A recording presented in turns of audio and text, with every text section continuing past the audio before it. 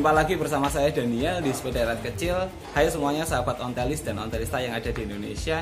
Kalau kemarin kita bahasnya hanya sepeda-sepeda dengan brand Pongers, Caselle, Simplex Terus brand-brand yang dalam tanda kutip sudah terkenal ya. Nah, saya akan coba bahas satu sepeda yang sepeda ini dibilang brand terkenal Pasti terkenal di zamannya tapi cukup kurang populer di Indonesia.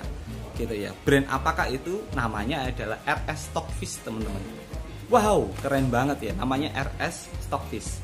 Bentuk sepedanya seperti apa? Yuk coba kita sama-sama lihat. Nah, sebelum saya masuk ke jauh tentang sepeda ini, saya coba akan ulas nih. RS Stockfish itu seperti apa sih sepedanya di liputan saya setelah ini. Stockfish yang saya liput sekarang itu modelnya adalah Sport Vision teman-teman. Modelnya adalah model sport yaitu jengki biasanya ya kita kenalnya. Tapi yang aneh dari sepeda ini adalah strippingnya sekali lagi catnya yang masih seger strippingnya yang masih oke okay. itu yang membuat saya keren banget ya Pak Anggo punya koleksi yang benar-benar rare itemnya itu kondisi yang benar-benar istimewa yuk coba kita lihat ya sepedanya Oke teman-teman kita mulai dari awal ya. Di sini handspadnya modelnya seperti ini model dari Belanda. Terus kemudian ini uh, three speed untuk apa namanya uh, percepatan Nah, di bagian uh, stangnya ini bertuliskan Philip teman-teman. Jadi mungkin di zaman dulu uh, terdapat perubahan-perubahan ya, karena kita nggak tahu ya usia sepeda ini udah berapa tahun. Tapi uh, dipasang stangnya Philips made in England. Warnanya juga masih celing banget ya. Terus kemudian di bel ini logonya Makota. Logo Makota bisa dilihat ya. Dan juga uh nyaring banget. Handspadnya juga ada tulisannya teman-teman ya yang sebenarnya tulisannya itu ya plastik apa itu ya di bagian ini ya ada tulisannya. Yuk coba kita geser ke bagian lampu ya. Di bagian lampu modelnya seperti ini. Philips terus yang unik adalah di bagian kacanya. Nah di bagian kacanya itu modelnya seperti ini teman-teman. Jadi modelnya seperti ini. Yang ini itu uh, ledok gini ya. Apa ya cekung. Tapi di bagian ini cembung. Jadi ini mentul ke depan gitu ya. Nah seperti puting dari perempuan ya modelnya seperti itu. Ya coba kita lihat di bagian konsepnya. Di bagian konsepnya konsepnya itu tinggi di sini. Konsepnya. Terus ini ada transfer mereknya yang masih Venture kalau nggak salah ya. Terus ini set remnya juga original. Turun ke bagian bawah. Ini tulisannya di bagian plat tulisannya RS ya RS Nederland Fabrikat Stockfish and Zonen. Ya jadi Stockfish itu kalau nggak salah salah satu nama pabrik ya di, di Belanda ya. Tipenya adalah sport teman-teman. Modelnya koannya seperti ini di atas dan bawah. Oke keren banget ya. Strippingnya juga masih cukup jelas. Nah ini jenggernya ini unik. Jenggernya itu eh, bukan kayak jenggernya jengki yang ke belakang ya tapi dia ke depan malahan. Ya ke depan seperti ini. Coba kita lihat di bagian garbu RS. Garbu modelnya seperti ini ya teman-teman, datar ke bawah. Terus di sini RS. Ada tulisan RS semua ya, RS Stockfish. Ada transfer mereknya RS, strippingnya juga cukup jelas banget. Nah, unik lagi di bagian ini. Di bagian supitan teman-teman. Di bagian supitan ini biasanya kalau jengki kan modelnya seperti ini ya. Ya modelnya seperti ini. Tapi ini enggak. Ini modelnya kebu teman-teman. Ya modelnya kebu seperti ini. Jadi supitannya seperti ini. Coba kita cek ya. Di bagian kunci garbu mereknya adalah Nulan made in England. Terus dinamonya juga mereknya Pilidin wih strippingnya ya keren banget ya. Yuk coba kita lihat lagi di bagian hook tengah teman-teman di tengahnya tulisannya S gitu aja ya. Di bagian tengahnya. Oh enggak teman-teman. Tulisannya RS ya di bagian tengah tulisannya RS ya terlihat nggak? Terlihat ya tulisannya RS jadi semuanya bertuliskan RS teman-teman. RS Stockfish keren ya. Velgnya aluminium. Coba kita cek ya mereknya apa ya. Ukurannya 26 nih teman-teman. 26 kali 13 per 8 yuk coba kita lihat mereknya apa ya? Peleknya. Nah ini mereknya. Wow Winman teman-teman. Winman ini adalah produk dari Jerman ya yang memang dikhususkan untuk memproduksi velg teman-teman. Biasanya velg rem terus yang bahannya seperti ini aluminium seperti ini teman-teman. Ya coba kita lihat lagi. Uh, di bagian tiang slebor modelnya seperti ini. Lipetan ya. Coba kita lihat ke belakang ya wih. Kondisinya teman-teman. Ya. Strippingnya juga utuh banget. Strippingnya utuh banget. Wush. keren ya. Nah ini ini ininya teman-teman. Transfer mereknya di bagian frame. RS Surf Tour.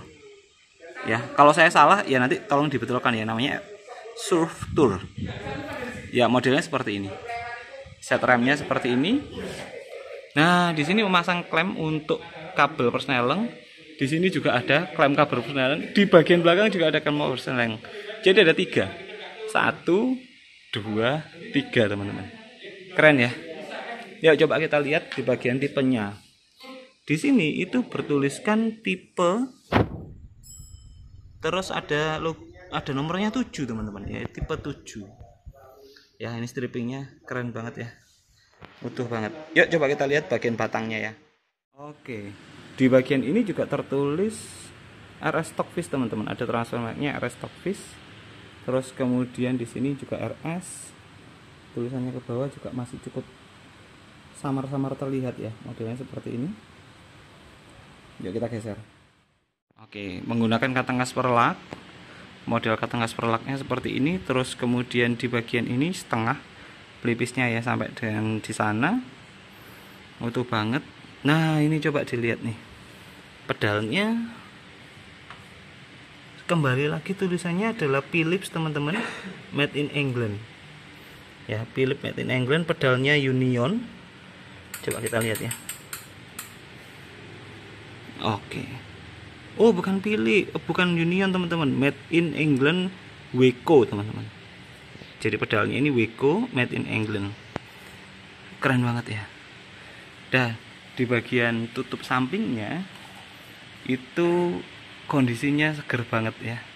Kondisinya seger banget. Utuh ya, penutup rujinya. Kita nyebutnya penutup ruji. Yuk kita coba lihat di bagian atasnya. Kalau di bagian atasnya ini uh, seperti keling teman-teman di sini di keling ya. Bukan nampil uh, bukan nancep di belakang tapi di bagian sini. Jadi seperti keling bulat seperti itu. Turun ke bawah. Yuk coba kita lihat boncengannya. Juga ada platnya di bagian framenya. Ada ada bagian plat di sini.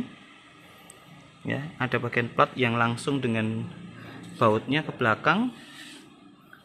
Nah merek kuncinya adalah Trilok Trilok tak kelihatan ya? Oh kelihatan nih nah trilok terus sadelnya leper made in Holland. Turun ke bawah strippingnya teman-teman yang buat aduh keren banget ya Pak Unggo nih. Oke di bagian ini juga ada bekas alamat ya teman-teman ya. Jadi alamat dari Den Haag ini ya. Jadi ada nomor teleponnya dari Belandanya. Duh keren banget ya. Stopannya coba kita lihat bagian stopan. Biasanya sih coets ya teman-teman modelnya adalah model coach oke yuk geser yuk. Nah di bagian belakang ini menggunakan perselangnya model bumbung teman-teman. Coba kita lihat ya model bumbung. Terus mereknya apa ya ini ya? Oh ini. Stermi Archer. Terus Trifit ya modelnya seperti ini. Ya AW tipenya ya A sama W. Yuk Coba kita lihat detail yang lainnya. Oke, di bagian velg tulisannya Winman. Seperti itu ya. Terus kemudian ini ya tulisannya uh, Speed, oh sorry, Stermi Archer seri AW tahunnya 65 teman-teman. Ya tahunnya 65. Apakah sepeda ini tahun 65? Coba teman-teman nanti kalau punya informasi lebih jauh bisa komen ya di kolom komentar. Yuk coba kita lihat di bagian boncengan itu kelingnya juga masih tetap utuh. Terus terus supitan bawahnya seperti ini teman-teman. Ya supitan bawahnya seperti ini. Nah ini ada nomor nomor frame nya di bagian belakang ya. A7757 teman-teman. Jadi nomor frame-nya itu terletak di bagian supitan belakang. Terus kemudian di sini itu sama seperti PFG. Jadi ada ada dudukan untuk bonceng untuk standar teman-teman untuk jagang. Di sini ada ada supitan, ada kayak panel gitu ya untuk uh, jagang. Modelnya seperti ini. Ya, modelnya seperti ini ya. Yuk coba kita lihat. Ini tutup sampingnya. Terus coba kita lihat di bagian as bracketnya ya. As bracketnya unik banget. Tapi sebelumnya coba, coba kita lihat pedalnya Weko ya. Weko lonyer banget ya. Struktur remnya tuh coba dilihat ya. Struktur remnya seperti itu. Yuk coba kita lihat. Nah ini yang unik teman-teman. Saya belum pernah sih jumpai dengan as bracket seperti ini ya. Ini bulat seperti ini terus ada lubang-lubang-lubangnya di sini. Ya, unik ya. Ada lubang-lubangnya seperti itu. Keren ya. Yuk dilihat di sampingnya. Di sini juga tulisannya RS. Ini gelap karena ini ya pencahayaan aja backlight. Jadi tulisannya RS di situ. Terus garpunya RS kemudian. Ya, keren ya keren banget ya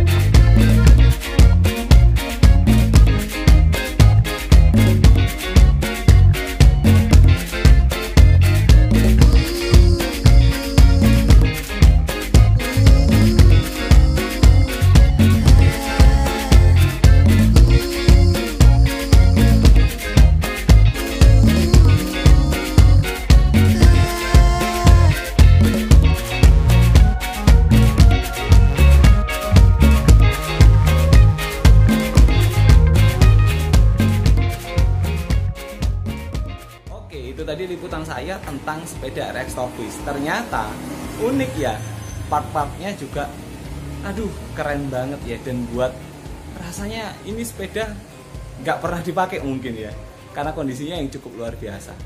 Yuk teman-teman, yang paling penting adalah sepedanya bukan sepedanya dan jangan lupa yang belum like subscribe silakan di subscribe silakan ditonton karena saya akan mengulas sepeda-sepeda yang kondisinya itu hampir nos teman-teman hampir nos ya. Karena sepertinya sepeda tahun buatan berapapun koleksi Pak Onggo ini kondisinya itu cat dan strippingnya masih utuh. Keren banget ya. Thank you semuanya sudah menyaksikan. Bye